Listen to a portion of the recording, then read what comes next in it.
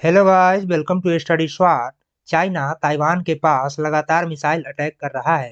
Taiwan को China ने चारों तरफ़ से घेर रखा है और मिलिट्री एक्सरसाइज कर रहा है। चाइना ने ताइवान के छह मुख्य बंदरगाह को ब्लॉक कर रखा है, जहाँ से ताइवान बड़ी मात्रा में एक्सपोर्ट करता है। तो आज हम लोग डिस्कस करेंगे कि ताइवान चाइना के आक्रामक रुख को लेकर क्या स्ट्रेटेजी अपना रहा है।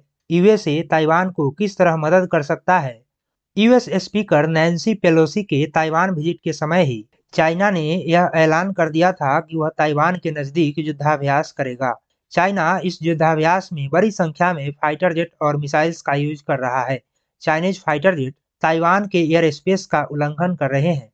जिस एरिया में चाइना युद्धाभ्यास कर रहा है, वह ताइवान मेनलैंड से मात्र 20 किलोमीटर की दूरी पर है। चाइना ने ताइवान के समुद्री रास्तों को ब्लॉक करने के लिए J twenty J eleven fighter jet H six bombers और दो डिस्ट्रॉयर को ताइवान के नज़दीक तैनात कर रखा है।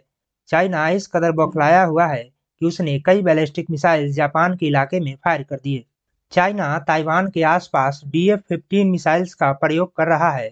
D F fifteen short range वाली बैलिस्टिक मिसाइल है। इसका यूज़ चाइना 1990 से कर रहा है। चाइना के पास इस सीरीज़ की 1000 मिसाइलें मौजूद है। चाइना जिस इंटेंसिटी के साथ मिसाइल अटैक कर रहा है, उससे अन्य यूरोपीय देशों ने नाराज़गी ज़ाहिर की है और अमेरिका ने चीन के राजदूत को तलब किया है। ताइवान ने चाइना के खतरे को देखते हुए अपने एयर डिफेंस सिस्टम को अलर्ट पर रखा है और कहा है कि वह किसी भी कीमत पर चाइना के सामने नहीं झुकेगा। ताइवान में पहले से ही किसी भी संभावित युद्ध का सामना करने के लिए तैयारियाँ की जा रही है। ताइवान चाइना के सामने बहुत छोटा कंट्री है मिलिट्री क्षमताओं के मामले में भी ताइवान चाइना के सामने कहीं नहीं टिकता है। इसलिए ताइवान अपने आप को डिफेंड करने के लिए डिफेंसिव तरीके पर ज़ोर दे रहा है। इसके तहत ताइवान ने बड़े पैमाने पर कंधे पर रखकर फायर किए जाने वाले मिसाइल, जिसे जेवलिन और स्टिंगर मिसाइल कहा जाता है, बड़ी मात्रा में परचेज किया है। इसके माध्यम से गुरिल्ला वार की तर्ज पर चाइना के फाइटर जेट, हेलीकॉप्टर और मिसाइल्स को निशाना बनाया जाएगा। अगर चीन की सेना ताइवान में घुसने की कोशिश करती है तो उसके लिए काफ़ी मुश्किल होगा, क्योंकि कोई भी एयरक्राफ्ट, स्टिंगर और जेवलिन मिसाइलों से बच नहीं सकता।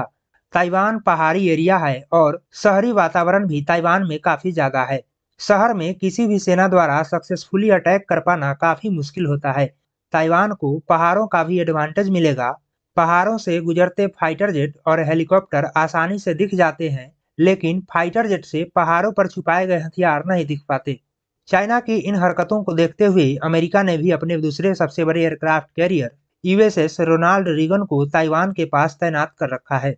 यूएसए के पास इस तरह के टोटल 10 एयरक्राफ्ट कैरियर हैं, जिसमें से रोनाल्ड रिगन सबसे नया है।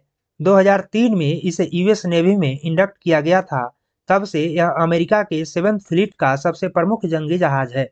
इस पर 90 फाइटर जेट्स और हेलीकॉप्टर तैनात हो सकते हैं। इस एयरक्राफ्ट कैरियर पर अत्याधुनिक इलेक्ट्रॉनिक वारफेयर सिस्टम लगा है, जो दुश्मन के टॉर्पीडो के आने की गति और समय को पहले ही बता देता है। इस पर अमेरिका के सबसे advanced fighter jet F thirty five और एफ़ एटीन तैनात है।